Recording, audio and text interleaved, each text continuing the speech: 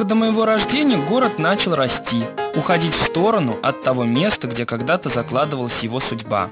Но старые стены все еще сохранялись, улицы носили прежние названия. И вдруг, с неожиданной ясностью, почти до испуга осязаемо, я прикасался к прошлому. Константин Федин 29 июня 1885 года в Саратов пришла телеграмма из Петергофа.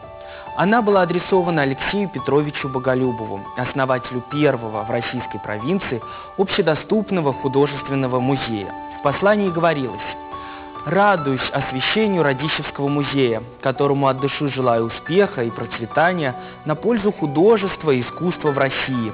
Саша». Именно подпись выделяла это приветствие из множества подобных, полученных Боголюбовым в день открытия Радищевского музея. Сашей был император и самодержец Всероссийский Александр III. Царская скромность объяснялась очень просто. Это было не официальное, а дружеское послание. Академик живописи Алексей Петрович Боголюбов в течение многих лет не только давал уроки рисования, тогда еще наследнику престола его супруге Марии Федоровне, но и помогал пополнять художественную коллекцию Александра III. В свою очередь, поддержка императора сыграла решающую роль и в открытии Радищевского музея, и в обогащении его фондов.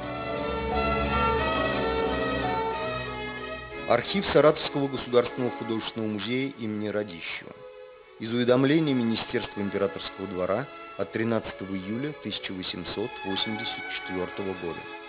Всемилостивейший пожалованный государем-императором устраиваемому в Саратове Музею изящных искусств художественные произведения из числа находящихся в императорском Эрмитаже, а также каменные изделия из запаса кабинета его императорского величества уступлены названному музею без права отчуждения таковых. По распоряжению Александра III из собрания Эрмитажа и Академии художеств в Саратов были присланы полотна европейских и русских художников, изделия из стекла и фарфора. Подарок государю украсил и парадную лестницу музея. Два барельефа из карарского мрамора, созданные во второй половине XVIII века, никогда не меняли своего местоположения.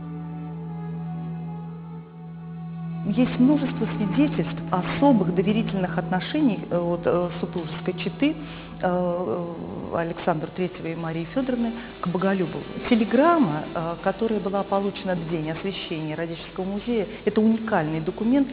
А вот этот текст «Радуюсь освящению Радического музея, желаю, которому от души желаю успеха и процветания» и подпись «Саша» это все же не приветствие императора, это скорее искренний такой порыв человека, который очень горячо за это событие переживал. Вот такой вот отклик. Наверное, я думаю, вот а, аналогов тоже такому документу мы не найдем. Основой Радищевского музея стала, как известно, личная коллекция Алексея Петровича Боголюбова. Но архивные документы уже самых первых лет свидетельствуют о многочисленных бескорыстных пожертвованиях друзей и знакомых Боголюбова, среди которых художники, коллекционеры, меценаты. Я назову лишь малую часть имен. Собиратели русской живописи Павел и Сергей Третьяковы, композитор Антон Рубинштейн, коллекционер, знаток византийской мали Александр Звенигородский. В начале 20 века фонды пополнит коллекция гравюр известнейших мастеров Европы, завещанной Радищевскому музею генералом-адъютантом Аркадием Дмитриевичем Столыпиным. Аркадий Дмитриевич Столыпин э, и очень тщательно относился к процессу собирательства. В его коллекции представлены почти все европейские школы, французская, итальянская, голландская, английская и другие. Хронологический период работы охватывает 16 по 19 век. Рембрандт, Дюрер, Кало, Лука Лейденский. Всего почти тысячи листов. Эти работы известнейших мастеров Европы составляют треть музейного собрания графики. Благодаря его коллекции мы имеем э, очень большое собрание того или иного художника, объединенное одной серией или одной темой, что для нас очень важно. Великолепное собрание живописи, эмалей, мебели подарит музею Михаил Николаевич Галкин в Роской. Этот человек сыграл заметную роль в истории нашего края. Будучи саратовским губернатором, он немало способствовал строительству самого музея. Позже занимая высокие государственные посты в Петербурге, содействовал открытию в Саратове университета и консерватории. В 1910 году, за шесть лет до своей кончины, Михаил Николаевич известил Радический музей о намерении завещать его собственность, собранную за долгие годы коллекцию. В приложенном списке было 200 наименований. Целостность всей коллекции никто до сих пор не представляет, потому что она не была выставлена. 1916 год, война, затем революция. Вот. А в первые послереволюционные годы ведь имя такого чиновника да, вообще и произнести было просто невозможно. И кого интересовало то, что вот это собрал Галкин Вроской и подарил вот такой бескорыстный родительский музей? Кого это интересовало? Вот, главное были вещи. И вещами тут же начали распоряжаться. И это не по профилю, и это не по профилю. Если документальные материалы распределялись в основном по отечественным музеям, то скульптуре и живописи преимущественно западных мастеров повезло меньше. Лучшие произведения, отобранные для Госфонда, зачастую оказывались проданными за границей. И, пожалуй, больше всего повезло вот части коллекции Галкина-Вроскова, где русское искусство. У него ну, были портреты всех, так сказать, ну, многих монархов. И целая коллекция, там больше ста э, медалей бронзовых с изображением великих князей, с изображением там, царей русских э, и так далее. И вот э, из всего этого, пожалуй, самым таким лучшим является портрет Екатерины II, э, работы Иоганна Батиста Лампи. Вот. Это крупный, в общем-то, художник, его называют последним виртуозом эпохи барокко. Вот. Это портрет, вот, он всегда висит на экспозиции. Он ее не покидает никогда. Он лучший среди портретов Екатерины II по живописи. Если бы только один этот портрет был передан музею, то и тогда вклад вот Галкина Вроскова в нашу коллекцию был бы, в общем-то, очень значительным. Еще несколько любопытных фактов из истории Радищевского музея. В 1925 году музей покупает картину Петра Уткина «Осокорь». Необходимая сумма была собрана сотрудниками музея и преподавателями университета. В том списке знаковые для Саратова имена профессоров Спаса Кукотского, Гераклитова и Скафтымова.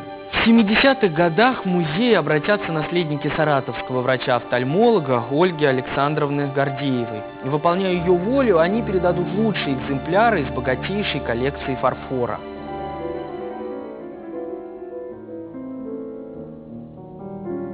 Сам материал, названный вот на, в русском языке это звучит как э, фарфор, а в латинских языках это звучит как порцелан, он был настолько очевидно привлекателен, что любая вещь, созданная по законам красоты, привлекала коллекционера. Если вспомнить происхождение Ольги Александровны Гордеевой, то вот этот вкус к красивым вещам, к изысканному быту, он, возможно, мог быть привит в детстве. И оттуда уходят истоки. Это может быть какая-то ностальгия, Э, потому что женщина-коллекционер явление достаточно редкое.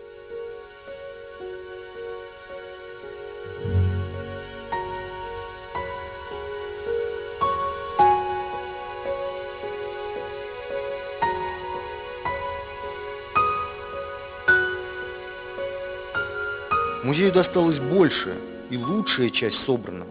Коллекцию фарфора дополняла мебель, подсвечники и часы. То, что окружало Ольгу Александровну в ее квартире, находившейся в старинном особняке.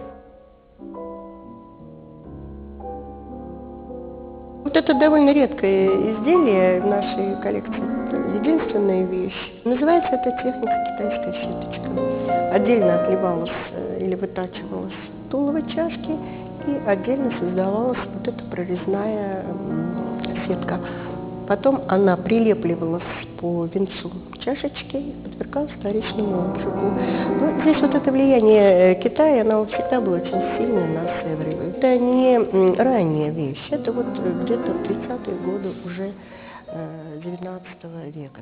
Прошу вас, господа, зал Пушкинский, первой половины XIX столетия искусства, и сразу бронзовый бюст,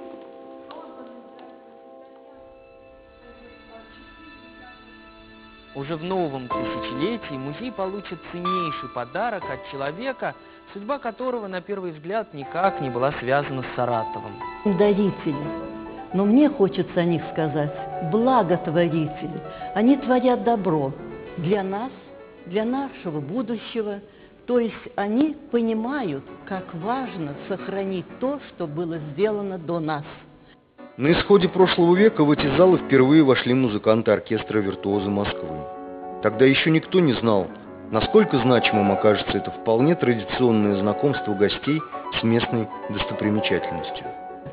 Мы им позволили находиться в фондах, мы им показывали работы, которые не были в экспозиции. И мы старались раскрыть перед ними богатство нашего музея, потому что им было интересно. Не потому, что мы хотели этого, в первую очередь они хотели этого. Поэтому у них от музея остался вот э, какое-то очень высокое представление о музее, какое-то возвышенное, оно сохранилось до сих пор у Спивакова. В 2004 году во время очередных гастролей в Саратове Владимир Спиваков подарит Радищевскому музею картину, купленную им в одном из антикварных магазинов Парижа. Эта картина называется «Печальная муза». 20-е годы. Вот смотрите, какая изумительная вещь. Выбор отнюдь не случайный. Автор «Печальной музы» – Валентин Юстицкий. С Саратовым связаны его юности последние годы жизни – Основное собрание работ художника хранится здесь, в Радищевском музее. В судьбе Валентина Юстицкого был пажеский корпус, уроки скульптуры в Париже, выставка в Лондоне и 9 лет ГУЛАГа. И тем дороже его признание. Мое счастье и мое несчастье в том, что я сумел пронести через свои почти 50 лет детскую, порывистую веру в лучшее человека. Здесь очень интересная на обороте надпись я хотела бы ее вам прочесть. «С любовью к людям» Владимир Спиваков. Потрясающая надпись. Не просто дар музея, можно и так написать и на этом остановиться. С любовью к людям. Вот отличает его творчество. И также отличало это и творчество Юстицкого. Поэтому мы очень трепетно должны относиться к таким вещам. Они неповторимы и они бесценны.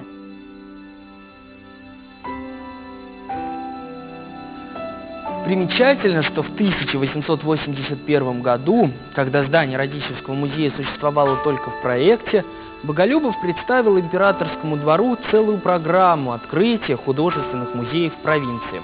Источником их фондов должны были стать запасники Эрмитажа и Академии художеств, а также частные пожертвования. Ответ одного из сановников не оставлял надежды. Ни один город не попросил этого у правительства и даже у себя не высказал подобного желания.